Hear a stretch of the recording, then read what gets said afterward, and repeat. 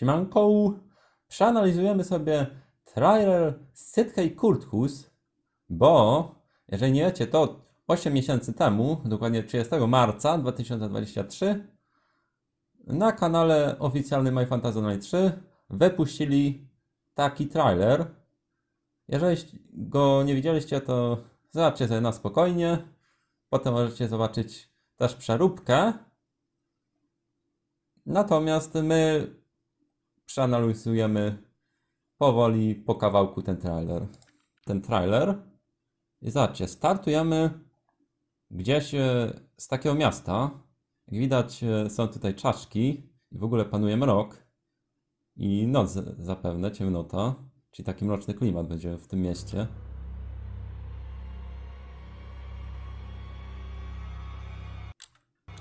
A tutaj mamy odliczanie czasu. Też nie wiadomo dokładnie, czy to jest Sythe, czy to już jest Kurthus. No bo będą dwa miasta naraz. Czyli podobnie jak było z Nornią i Azarat, też były dwa miasta. One są tak e, połączone ze sobą, tak jakby. Ok, zobaczmy tutaj. Tu już wchodzimy do miasta, mamy strażników. Też jakieś posągi. O, tutaj mamy wejście już do jakiegoś sklepu prawdopodobnie. Będę to zaznaczał. O, tutaj. Tam na dole byli strażnicy. A gdzie to się kasuje?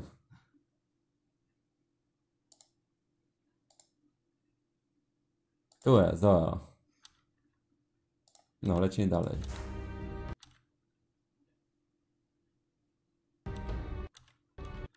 Tutaj jest kolejny jakiś sklep, jak widzicie. Zaznaczę. Ta, i tu, i tu jest jakiś NPC.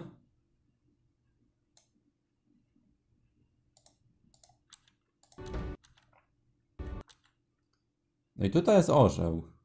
To chyba oznacza, że to był sklep z zaklęciami, ale nie jestem pewien. I tak nie będzie miało aż takie znaczenie. No tu jest teleport. Teleport i tutaj są jakieś jakieś kraty. Teraz ciekawe, czy te kraty mają jakieś znaczenie? Czy będziemy musieli odblokować jakoś ten teleport? Bo być może trzeba będzie jakoś. No, o, tu jest Serafin. I tutaj mamy chyba y, ten sam budynek co z początku traileru. Tak, ten sam, bo tu są strażnicy. Czy to Serafin? Ok, tutaj widać jeszcze kolejny budynek. Zaznaczę.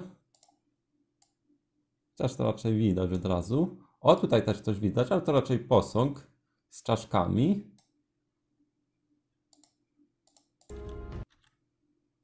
A co tutaj mamy? Tutaj już jesteśmy w jakimś budynku. O, zobaczcie, że na dole jest Serafin. Raczej widać. A my zapewne go szpiegujemy. Przynajmniej tak to wygląda. O, tutaj jest jeszcze jakaś postać. Na dole, plus skrzynka. Nie wiem, czy ta postać będzie jakieś, jakieś znaczenie miała. To się już przekonamy w grze.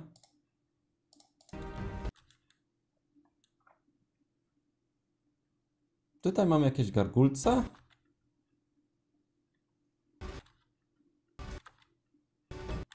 O, i jest gargulec zapewne. Nie wiem, czy to się będzie nazywało gargulec, ale przypomina gargulca właśnie. Tutaj mamy jakieś sowy. To jest podobne do słów. Może się to będzie inaczej nazywało.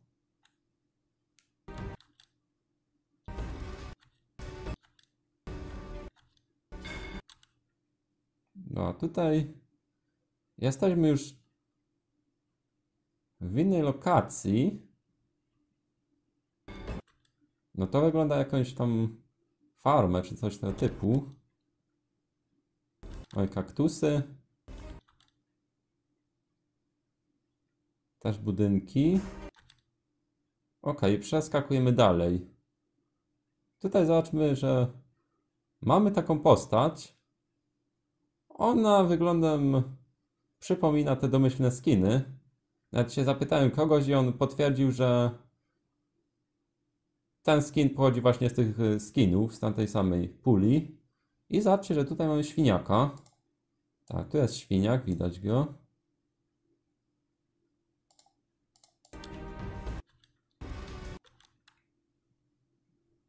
Na dole jest jakiś posąg. O, i to, to jest fajna scena, że tu, taki, tu wyskakuje taki wielki świniak. Jest to może ciekawa scenka. A tu.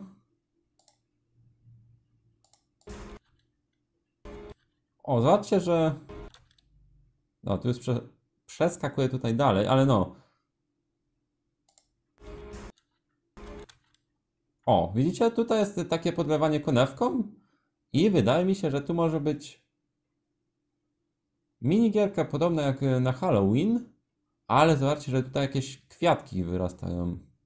Nie wiem, czy to jakaś kukurydza, czy cokolwiek, ale ewidentnie coś tutaj rośnie. A tu jest kolejne pomieszczenie. I tutaj mam jakichś doktorków, czy naukowców. No i Serafina. I tutaj jakaś postać jest przy Serafinie. To jest jakaś scenka. Ale też... y, A może to jest Natius? Bo bez kitu, żeśmy nie widzieli Natiusa wieki, ale nie wiem kto to może być.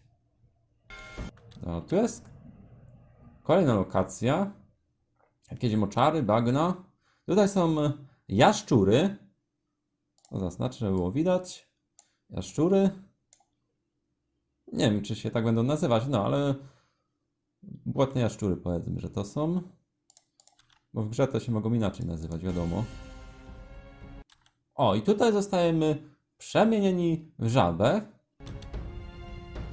Przylatuje wiedźma i zabiera nas. Czyli może być tutaj jakiś questem związany. Ale jaki to jeszcze nie wiemy. A tu jest jakieś kolejne pomieszczenie.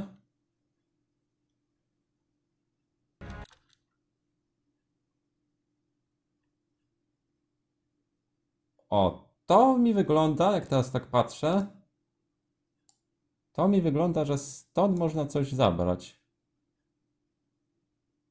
Ale mo- może mi się tak wydawać, a przynajmniej no, tak to wygląda. Ewentualnie stąd, ale też w MFO 2 z Sytchę był jakiś stojak i tam można było zabrać włócznie.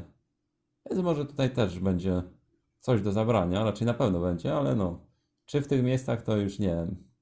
To już mogę tylko zgadywać. Zlecimy dalej.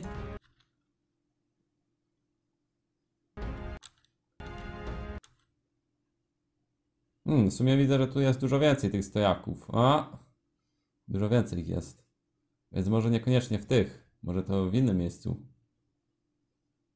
A, nie jestem pewien, czy to była włócznia. To może to chyba zbroja była. Nie wiem, bo tutaj też są stojaki na górze. Zaznaczę. I może stąd by dało się coś zabrać. O, tutaj mamy kolejną scenkę. W MFO 2 był taki lot balonem na wyspę.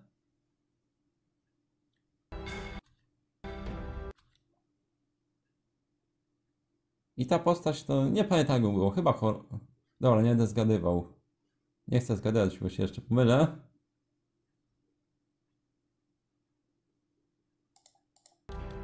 A zobaczmy, czy coś tu jeszcze jest.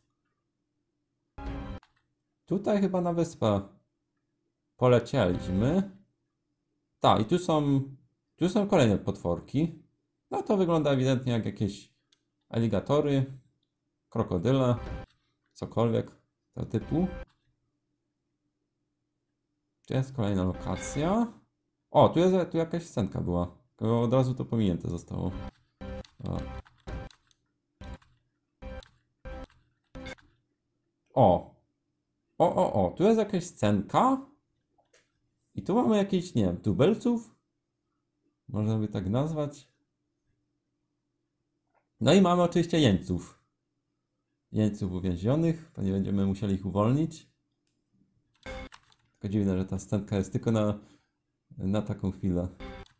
A tu, tu jest coś dalej. Jest i on. Ten, na którego czekałem. Mój wybraniec. Witaj. O. I tutaj ta postać kojarzy się z jakimś bóstwem. W MFO2 kolejnym bóstwem był Hades. Czy jak Shiva to była bogini lodu, Hades był od ognia, a potem był Zefir od wiatru. Tylko, że nie wiem, czy to będzie Zefir czy Hades. A, albo od ziemi jeszcze. Kto był od ziemi? Hmm. No, sprawdzę, kto był od ziemi i zaraz dam znać. Okej, już wiem, głupota powiedziałem. Od ziemi był Hades właśnie. Od ziemi był Hades, natomiast od ognia był Ifrit. Moja pomyłka spora. Ale też nie wiadomo, czy to będzie Hades, czy może jakaś inna postać. Lecimy dalej. O, tutaj jedziemy kolejką, ale też kogo my tu mamy. Asasyni. No, tylko tam mają inny kolor ubrania, ale to oni. O.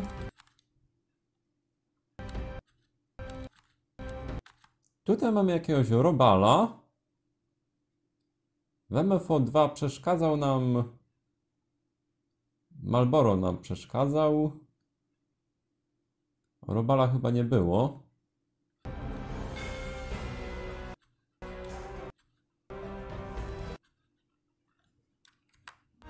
A zaraz, co to była za lokacja? Hmm. Ciekawa lokacja.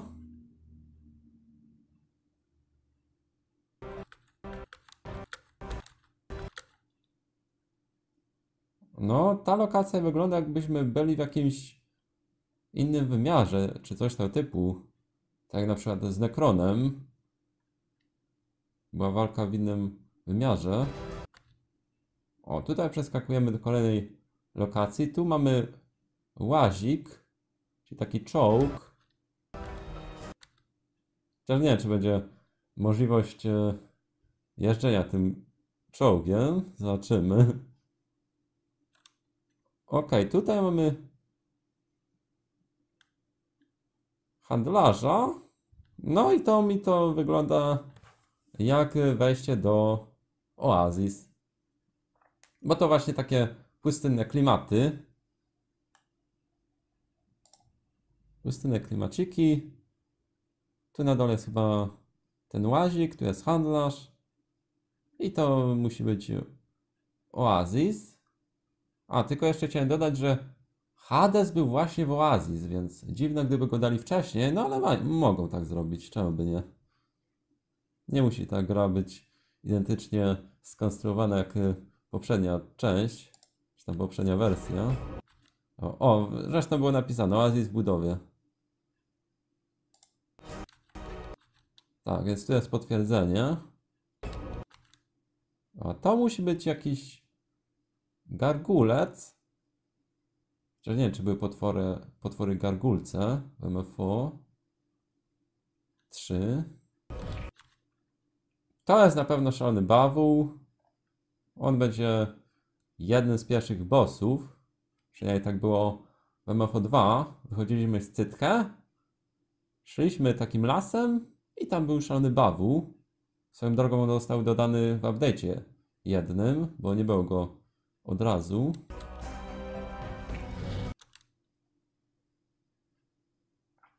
To przypomina jakąś e, wampirzycę.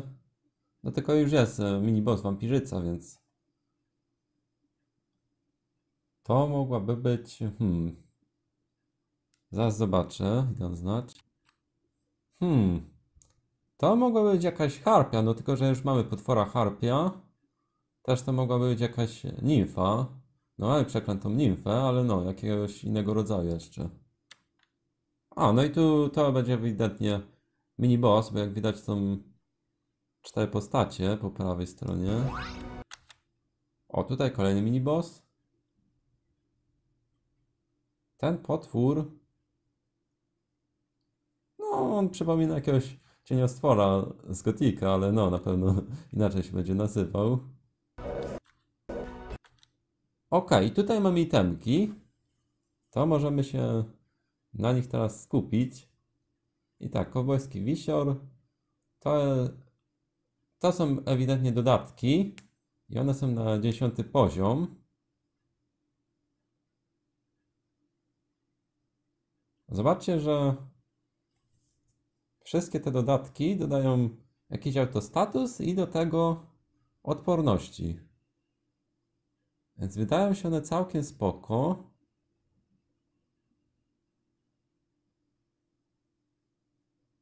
No spoko się wydają. Broszka daje 50 na spowolnienie. i Też przyspieszenie. Chociaż w kontekście PvP mocna byłaby odporność na zatrucie. Wiadomo. Spinki dają 25 na zatrucie, no i zombie. Sygnał jest spoko na TVT, bo ślepota i paraliż. Wisior podobnie na Tutaj mamy jeszcze kowbojski pas. On za to dodaje celność i odporności niezbyt przydatne na PvP. Bardziej jakieś minibossy właśnie. I tutaj mamy już bronię. Różdżka równowagi. Ta różdżka daje obronę magiczną i odporność na zatrucie, czyli to ewidentnie wygląda na jakąś różdżkę na PvP przeciwko magom. Na dodatek statusy, znaczy nie, atrybuty, atrybuty obniża, bo na pasywie ma coś takiego, że jeżeli nie mamy więcej atrybutów od przeciwnika, to zaklęcia biją 5% więcej obrażeń. No, wydaje się spoko, ale pewnie będą lepsze różdżki na setny poziom. Niżej jest różdżka ofensywy. I ta różdżka odnawia 4% maksymalnego MP co turę, ale za to w ogóle nie daje MP. Czyli jak widać to jest y, ciekawie zrobiona różdżka, bo polega na naszej manie. Więc jeżeli jakiś mak miał, albo będzie miał dużo many, to może ta różdżka będzie całkiem spoko. Ale też taka sytuacyjna. Po prawej mamy wszechstronne rękawice.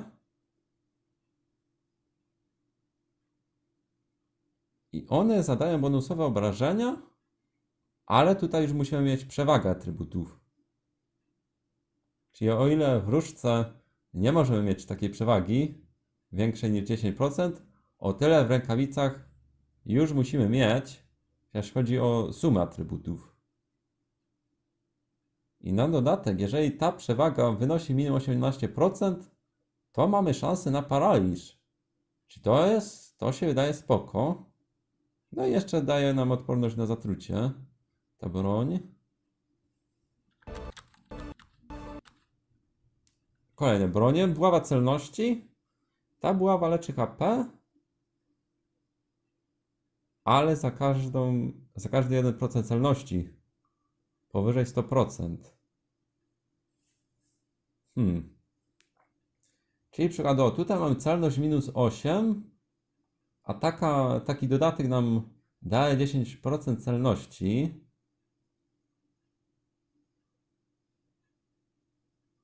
Więc już mamy na plus, ale wychodzi, że będziemy musieli mieć jeszcze z innych źródeł tę celność, albo z gemów, albo jak, z jakichś itemów.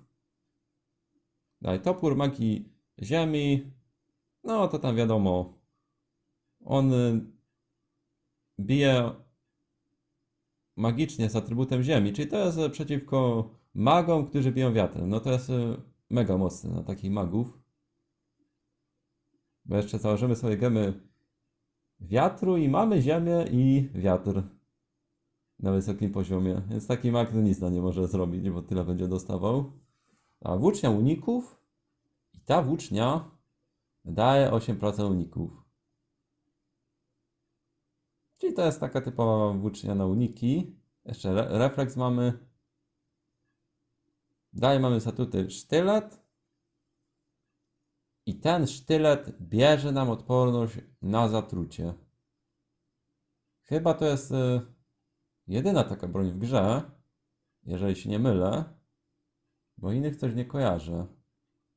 Dotychczas zwykle dawaj. Ale zaraz, zaraz. Nie, nie. Był na pewno taki pierścień, astralny pierścień chyba. On da, dawał zatrucie, czyli negatywny status. Byż, był też hełm, co dawał zombie. Jakieś tam inne negatywne statusy, ale negatywne odporności. Pierwszy raz chyba coś takiego wprowadzili. Natomiast pasywa jest taka. Ciosy fizyczne posiadają od 5 do 20% szansy na nałożenie statusu zatrucie na 4 tury. I szansa na trafienie statusem jest zależna od odporności na zatrucie używającego. Zadaje dodatkowo 1% za każde 5% przewagi odporności nad celem, maksymalnie 10%. Hmm.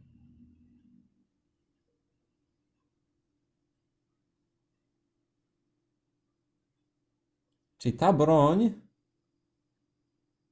może nałożyć zatrucie, ale jeszcze dodatkowo bije bonusowe obrażenia, o ile mamy przewagę w odporności nad zatruciem od przeciwnika. Czyli też tutaj trzeba mieć dużo odporności na zatrucie z tą bronią. Tutaj już mamy kolejne itemki. Złowrogi pierścień to daje nam obronę magiczną i 6% ziemi. Czyli jeszcze precyzję daje. No, czyli to jest przeciwko magom. Wiadomo. To samo złowroga maska. Ona daje wiatr, ogień. Dwa trybuty, pomylenie 50%. O, złowroga szata daje na zatrucie 25, ale też daje uniki. Czyli to można by ją łączyć z, z tą włócznią. Z tą włócznią na uniki. Tutaj są złowrogie buty. One dają barierę magiczną, autostatus. Odporności takie typowe pod minibossy albo TVT. No i szczęście dają. Kolejne itemki potworne. Hełm, on daje szybkość. Tu też odporności takie na minibossy. TVT. Ale jeszcze topór nam daje. Daje potworny pas. On daje spowolnienie, paraliż. Szybkość daje, barierkę. O, potworne buty, one dają 6% włóczni. I dają defa.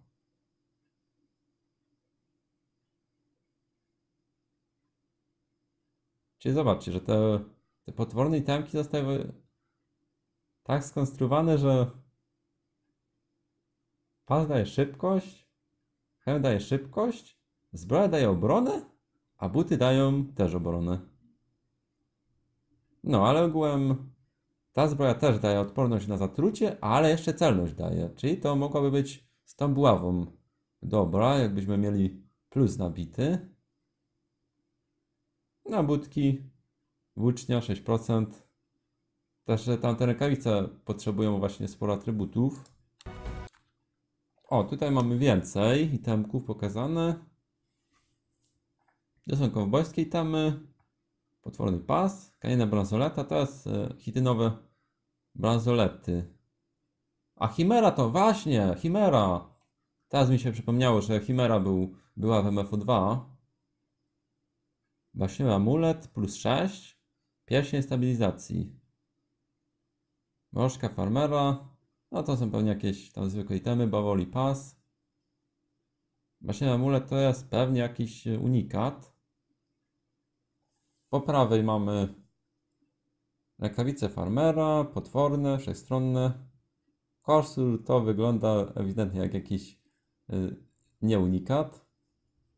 Krajna buława to samo, krajna włócznia też. Prehistoryczne pazury. Hitynowa różdżka plus 6. Cieniowy topór. O, księżycowy topór. To ewidentnie ta ikonka wygląda jakby to był jakiś unikat. Właśnie różdżka to samo. Tytanowe rękawice wygląda na ją w sumie jak... O, chyba nie unikat, ale no, mogę się mylić. I to w sumie tyle. Raczej nic szczególnego nie powiedziałem, co by się nie dało samemu zauważyć, ale i tak dzięki za obejrzenie do końca, jeśli się komuś chciało. No i do zobaczenia na scytkę, albo na kolejnym trailer, trailerze, jeżeli powstanie.